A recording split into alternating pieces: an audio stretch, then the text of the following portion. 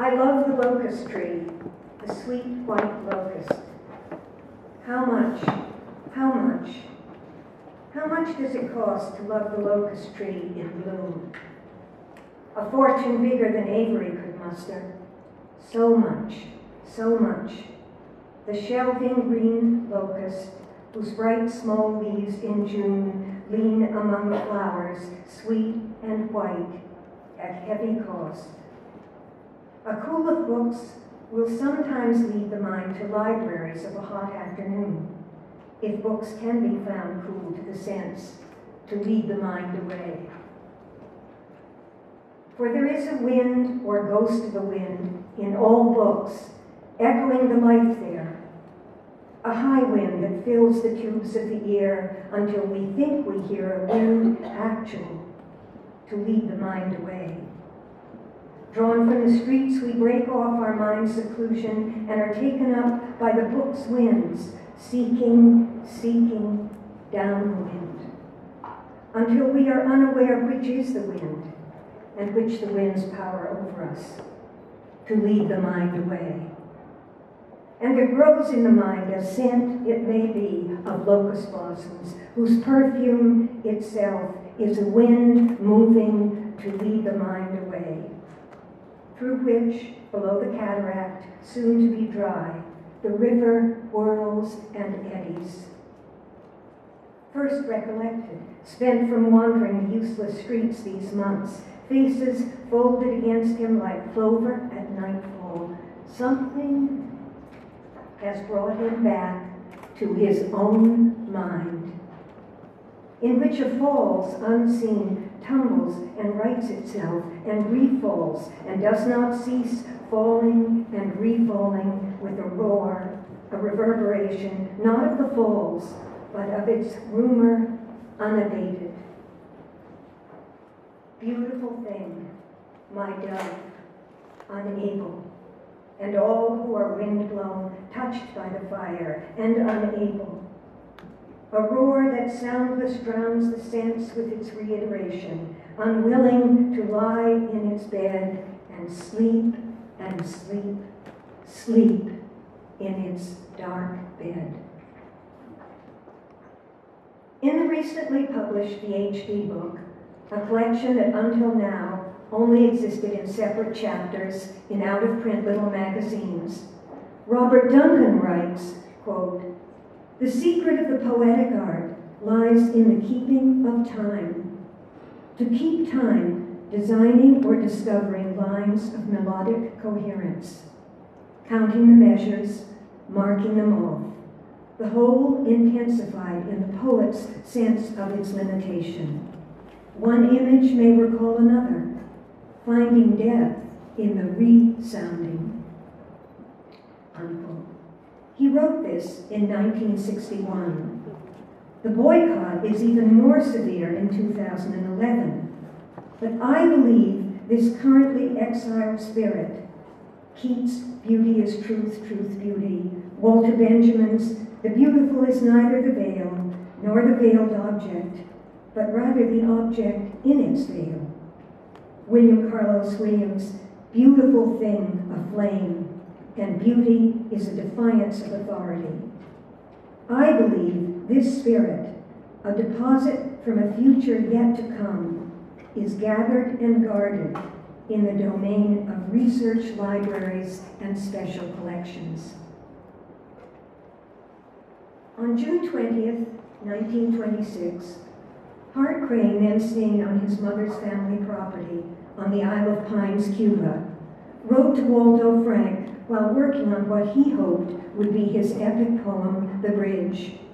Quote, the form of my poem rises out of the past that so overwhelms the present with its worth and vision that I'm at a loss to explain my delusion that there exist any real links between that past and a future destiny worthy of it. The destiny is long since completed. Perhaps the little last section of my poem is a hangover echo of it, but it hangs suspended somewhere in ether, like an Absalom by his hair. Adore that line. Possibly during 1885, the year before she died, Emily Dickinson wrote in a letter to her sister in law, Susan, emerging from an abyss and re entering it. That is life, is it not, dear? The tie between us is very fine, but a hair never dissolves. Things in themselves and things as they are for us. Often by chance, via out of the way card catalogs or through previous web surfing, a particular deep text or a simple object, a bobbin, a sampler, a scrap of lace, reveals itself here at the surface of the visible by mystic documentary telepathy, quickly, precariously, coming as it does from an opposite direction. If you are lucky, you may experience a moment before. In 1875, Dickinson jotted on a fragment of stationery Luck is not chance, it's toil. Fortune's expensive smile is earned. The father of the mind is that old fashioned coin we spurned. The English definition for text and textile is taken from the Latin textus, from texere, to weave, meaning that which is woven. In sentences, 1928, Gertrude Stein writes, What is a sentence? A sentence is an imagined frontispiece. In looking up from her embroidery, she looks up at me. It is partly. A sentence furnishes while they will draw. What is the difference between a sentence and a song? What is the difference between a sentence and a picture? An article by Edward Moore and Arthur Burks on editing the manuscripts of the philosopher Charles Sanders Peirce has an epigraph taken from the horse's mouth. I am a mere table of contents, a very snarl of twine.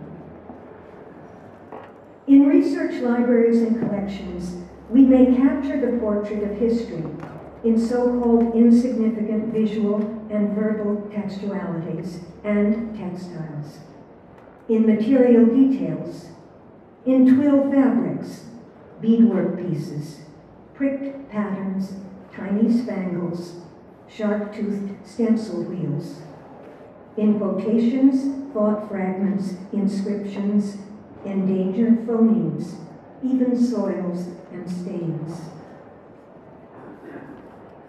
One historical existential trace has been hunted, captured, and preserved in aversion to waste by an avid collector, then put carefully away outside of an economy of use, inaccessible to touch. Now it is reanimated, recollected, recollected, through an encounter with the mind of a curious reader a researcher, an antiquarian, a sub-sub-librarian, a bibliomaniac, a poet. Each collected object or manuscript is a pre-articulate empty theater where a thought may surprise itself at the instant of seeing, where a thought may hear itself see. I held it so tight that I lost it, said the child boy of the butterfly. Of many a vaster capture, that is the elegy. For conversion, there must be a, there must be a mysterious leap of love. Sometimes a hidden verso side acts as prior counterpoint the way improvised children's tales have needlepoint roots in Latin holy words and medieval jargon. What difference does it make if what we see before our mind's eye has already been interpreted? This meanly magnificent waste is on a scale beyond actual use, it provides us with a sense of life hereafter. Coming home to poetry, you permit yourself liberties. In the first place, happiness. On August 19, 1926, Hart Crane ended a letter to Waldo Frank this way. I have never been able to leave, live completely in my work before. Now it is to learn a great deal, to handle the beautiful skeins of this myth of America, to realize suddenly, as I seem to, how much of the past is living under only slightly altered forms, even in machinery and such like, is extremely exciting. So I'm having the time of my life just now, anyway. In 1828, the first edition of Noah Webster's An American Dictionary of the English Language defines skein this way. Skein, a knot or number of knots of thread, silk, or yarn, a loosely coiled length of yarn or thread wound in a reel suitable for a manufacturing process as dyeing or for sale as knitting wool or embroidery something suggesting the twistings and contradictions of a skein unraveled the tangled skein of evidence. A trimmed strip of osier made from splits for basket work. A metal thimble on an axle tree arm. A flock of wildfowl in flight. That's why reading um, Noah Webster's original dictionary is very often like reading poetry. It's completely changed now. Anyway, um, Noah Webster's The American Dictionary of the English Language is repeatedly invoked through our 19th century interpreters Emerson, Melville, Hawthorne, Dickinson, Whitman, and many others. Edward Dickinson's copy of the first edition was in the family library, and Emily Dickinson herself owned an 1844 reprint of the 1841 edition. Noah Webster, with her grandfather Samuel Fowler Dickinson, was one of the founders of Amherst College, and her father was on the board of the excellent Amherst Academy she attended as a girl, and where for a time Webster served as president of the board. In 1862, she told Thomas Wentworth Higginson, When a little girl, I had a friend who taught me immortality, but venturing too near himself, he never returned. Soon after, my tutor died, and for several years, my lexicon was my only companion. Dictionary definitions could, could be called skeins, singularities, spirit sparks.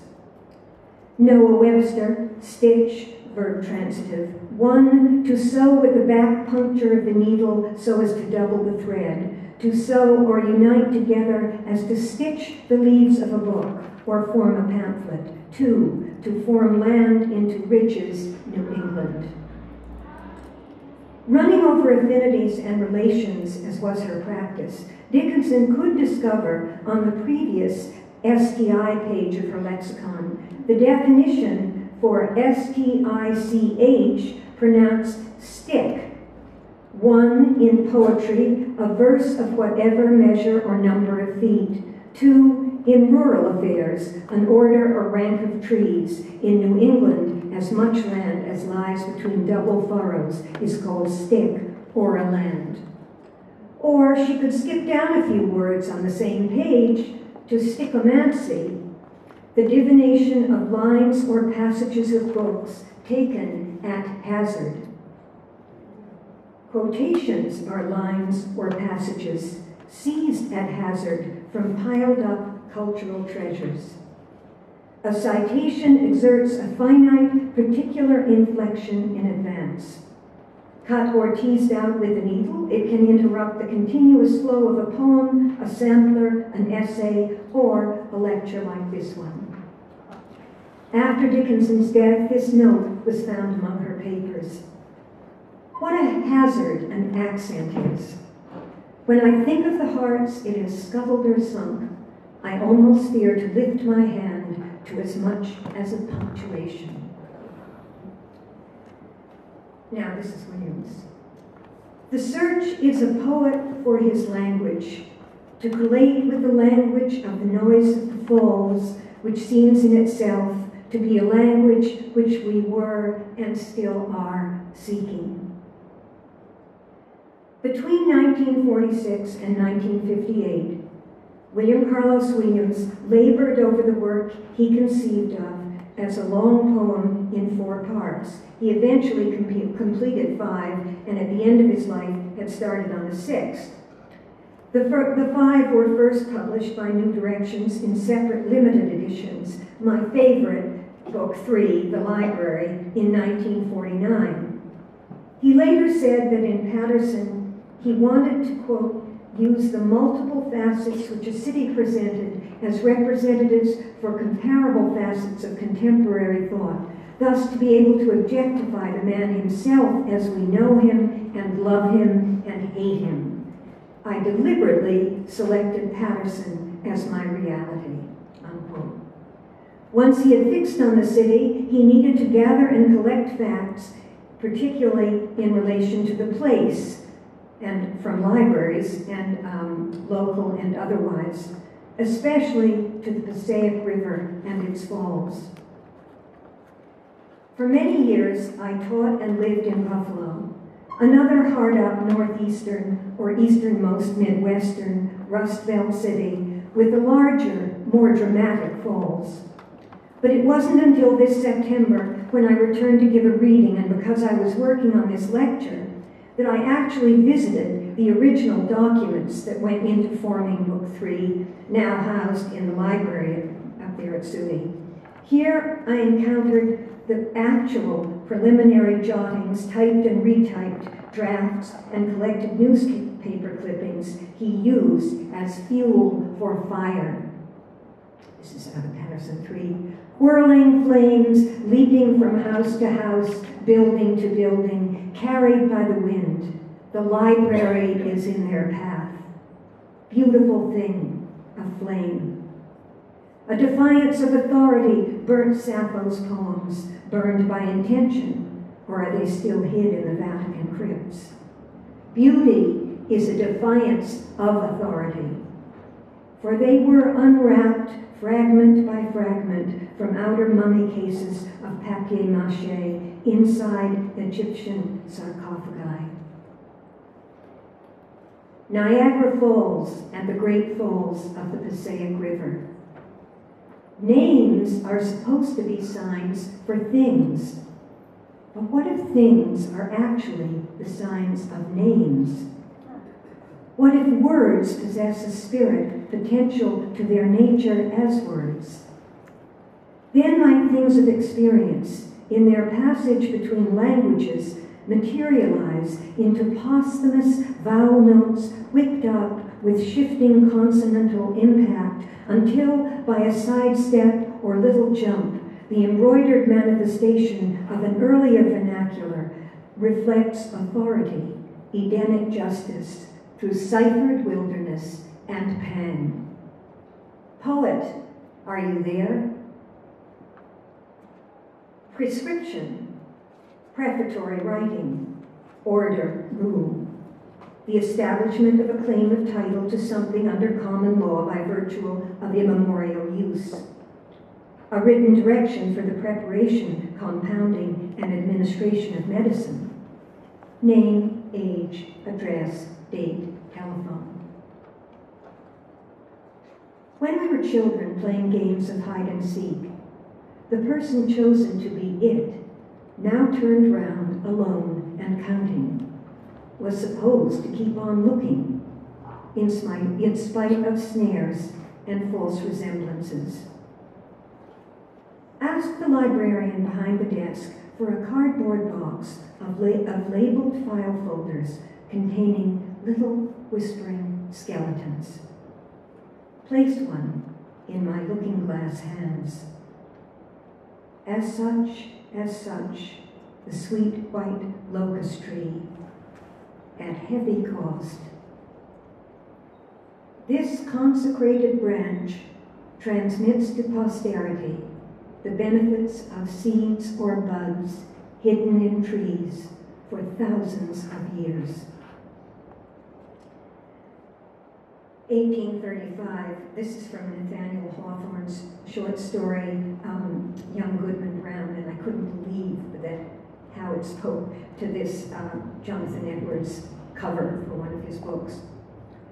Nathaniel Hawthorne, faith, shouted Goodman Brown in a voice of agony and desperation. And the voices of the forest mocked him, crying, Faith, faith, as if bewildered wretches were seeking her all through the wilderness.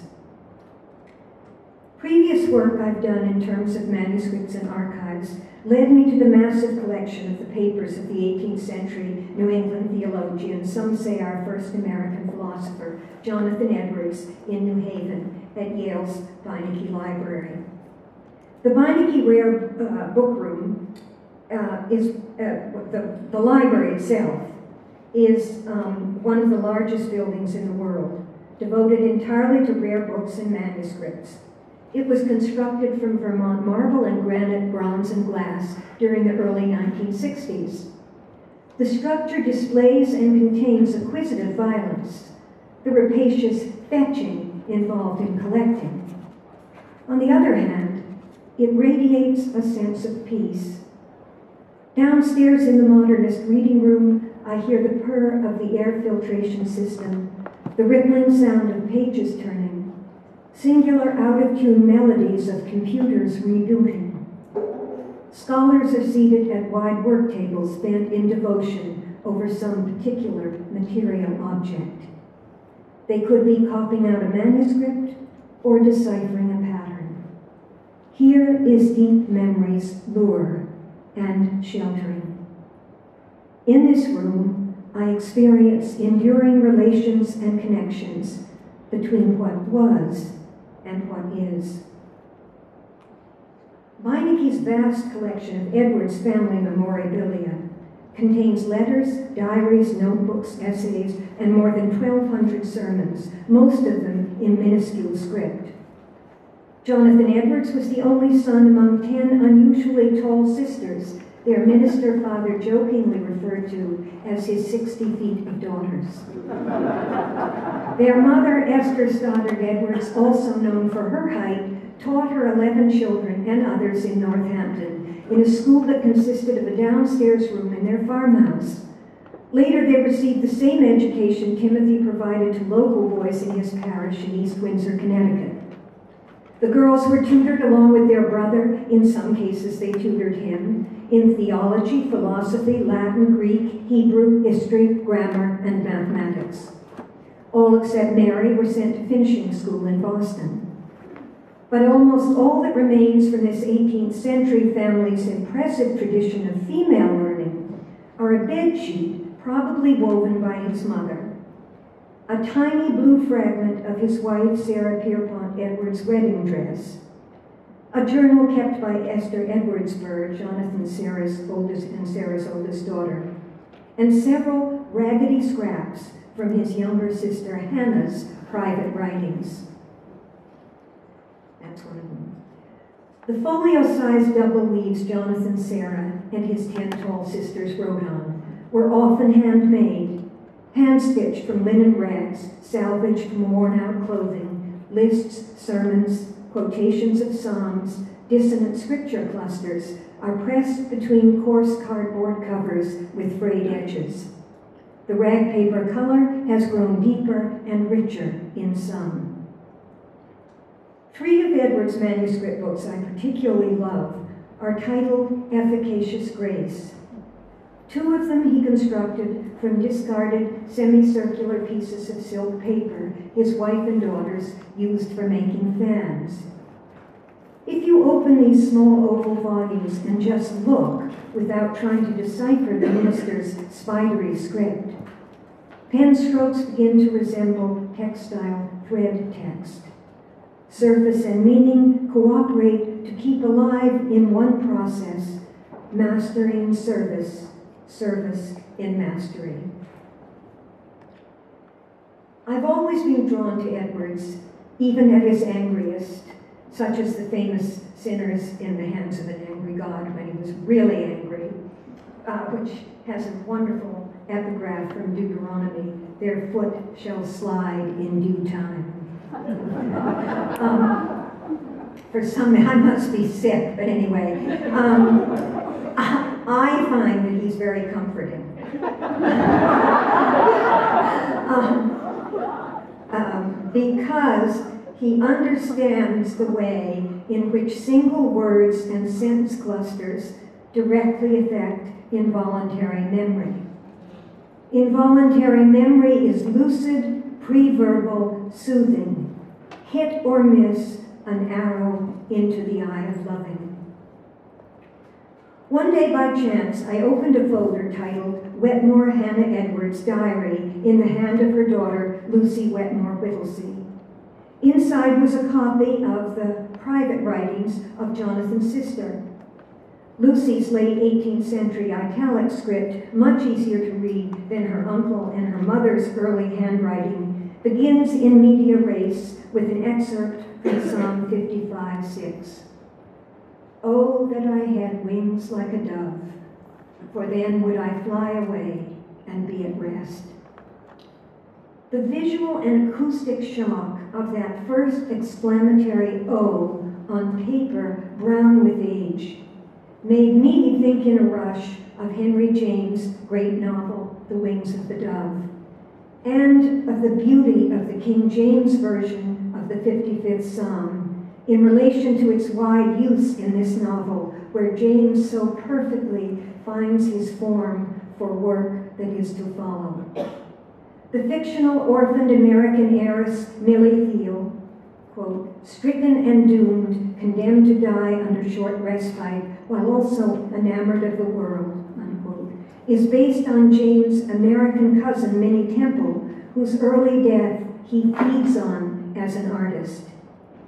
James brings Minnie to life in Wings, and again in 1914, at the end of his long writing career, with a moving tribute to this beloved cousin as he brings notes of the son and brother, his rambling memories of William and himself, to its last two paragraphs. This is the passage from it. Death at the last was dreadful to her. She would have given anything to live and the image of this, which was to remain long with me, appeared so of the essence of tragedy that I was in the far off aftertime to seek to lay the ghost by wrapping it, a particular occasion aiding, in the beauty and dignity of art. And I said, Oh, that I had the wings of a dove for then would I fly away and be at rest. Lo, would I wander far off and remain in the wilderness, Selah. Had the wings of a dove, though. But whither could I fly? Oh, and abiding portion and no ring, deceiving enjoyments. Where shall I find real? I wander from mountain. Oh, that I could rest for the soul and weary myself. Language leads to the limit of breath. The grapheme age, breath's last letter remnant, hangs suspended somewhere in ether like an Absalom by his hair. And this I'm reading now again from Williams. Read, and that's a Dickinson fragment. Read, bring the mind back, attendant upon the page, to the day's heat. The page also is the same beauty, a dry beauty of the page beaten by whips, a tapestry hound with his thread teeth drawn crimson from the throat of the unicorn, a yelping of white hounds under a ceiling like that of San Lorenzo, the long painted beams straight across, that preceded the domes and arches, more primitive, square-edged. A docile queen, not bothered to stick her tongue out at the moon, indifferent through loss, but queenly in bad luck, the luck of the stars, the black stars, the night of a mind. Dear heart, it's all for you, my dove my changeling. The wing of poetry is also the rushing wing of measure, infinite upon infinite, contemplative immersion, split second luck. The first lines of the preface to all of Paterson are Rigor of beauty is the quest, but how will you find beauty when it is locked in the mind past all remonstrance? To make a start out of particulars. Rather than being able to write anything concrete about Edwards and his manuscripts, I drew from the experience of viewing their chance conjunctions, attached flaps, cut ups, mixed messages, erasures, delineations, affiliations, and started to produce something made from Hannah's private writings with a mix of other sources. Walking just below my father's orchard after I walking just below my father's orchard after I. Religion and the concerns of my soul, my business. Religion and the concerns of my soul, my business. Strayed for and labored after an awakening sense of. In research libraries and special collections, words and objects come into their own and have their place again. This known world, this exact moment, a little afterwards, not quite. I remember the summer before my sister Jerusha's death making them. And I was leaning over the south fence and thinking in this manner that I was never likely to do better, and where should I go, etc. Most of my writing life has been spent in Connecticut, not far from where Hannah Edwards Wetmore lived and wrote. Reading her private writings, I experience through an occult invocation of verbal links and forces the qualities peculiar to our seasonal changing light and color. It's a second kind of knowledge, tender, tangled, violent, august, and infinitely various. The Romans, too, on the other hand. World, I used to be there felt soft or in a soul, really knew who or what I was, and thereby the music was, and therefore lost mm, I was. Consulted with myself about it and and was ready. Her name begins and ends with the aspirate phoneme H, spectral letter H, occult quick thought reached through the fire of reading. To touch is to reach. Poetry has no proof, nor plan, nor evidence by decree or in any other way. From somewhere in the twilight realm of sound, a spirit of belief flares up at the point where meaning stops and the unreality of what seems most real floods over us. The inward ardor I feel while working in research libraries is intuitive. It's a sense of self it's a sense of self-identification and trust, or the granting of grace in an ordinary room in a secular time. Thank you.